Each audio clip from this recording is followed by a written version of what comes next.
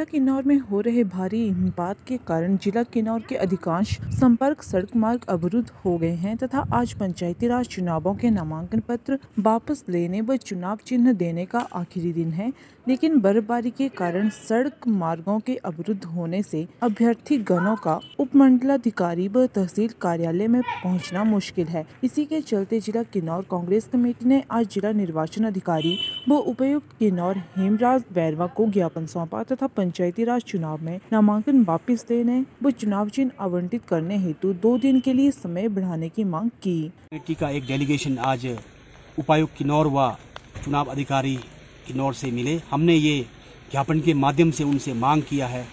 आज जो नामांकन वापस करने की तारीख व जो चुनाव चिन्ह वितरित करने का तारीख है आज, इस तारीख को दो दिन के लिए एक्सटेंड किया जाए, क्योंकि समूचे किन्नौर में पिछले दो दिनों से लगातार बर्फबारी हो रही है। हमारे किन्नौर में कई क्षेत्रों में दो से तीन फुट बर्फ़ पड़े हैं और अधिकतर संपर्क मार्ग, लगभग लगभग 99 परसेंट पूर्व ब्लॉक और कल्पा में संपर्क मार्ग अवरुद्ध हो चुके हैं। ऐसे में लोगों के जान को जोखिम में डालकर वहाँ तक पहुँचना बहुत मुश्किल है। इस संदर्भ में उपायुक्त महोदय को हमने ज्ञापन के माध्यम से अवगत कराया कि आप जो है, जैसे पू में पहुँचना, हांगरंग चूलिंग से संभव नहीं है, जाबुंग वैली से पू पहुँचना संभव नहीं है। पूर्वाचारंग ठंगी से मोरंग पहुँचना संभव नहीं है। ऐसे ही निजार ब्लॉक में भी रूपी, नीरू इत्यादि जगहों से बाबानगर पहुँचना संभव नहीं है।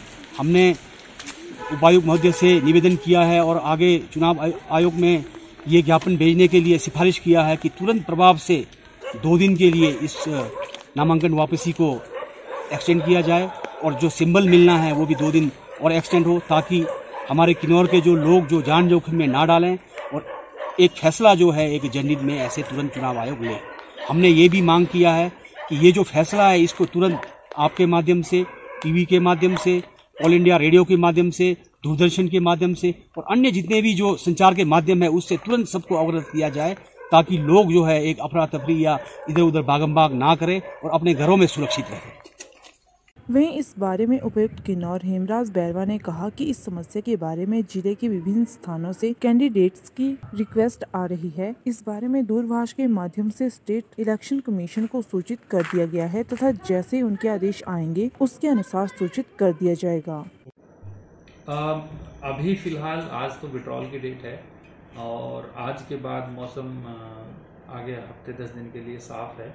सो ये आज कहना कि जी इलेक्शन कराना संभव है या नहीं, ये उचित नहीं होगा, इस बारे में कोई भी कमेंट करना। हालाँकि जो हमारी तैयारियाँ हैं, हमने इसके ध्यान रखते हुए की थी। विड्रॉल की आज काफ़ी कैंडिडेट्स की भी रिक्वेस्ट आ रही है और जो हमारे फ़ील्ड के जो आर ओज ए आर ओज हैं, उनकी तरफ़ से भी ये रिक्वेस्ट आ रही है कि विड्रॉल में अगर जो हमारे ऑप्शंस हैं, अगर उनके थ्रू कोई भी कैंडिडेट अगर अपना विड्रॉल नहीं ले पाता है तो कमीशन से दरख्वास्त की जाए कि इस डेट को एक्सटेंशन दी जाए। तो इस बारे में टेलीफोनिकली हमने स्टेट इलेक्शन कमीशन को इन्फॉर्म कर दिया है और उनसे उनका जो निर्णय है, हमें अपेक्षित है फॉर्मली भी हम उनको लिख देंगे। तो जैसा भी निर्णय होगा, हम इमीडिएटली बाकी लोगों को भी कन्वे करेंगे। इन द मीन टाइम हमारी सभी कैंडिडेट और आर ओ अपील यही रहेगी कि जो अल्टरनेट वाया मीडिया है विड्रॉल के लिए उनको एक्सरसाइज करें और कोशिश करें कि जो अभी तक कमीशन के जो निर्देश हैं, उनके अनुसार निर्वाचन की प्रक्रिया को आगे बढ़ाएँ। किन्नौर से सुरेंद्र चौहान की रिपोर्ट।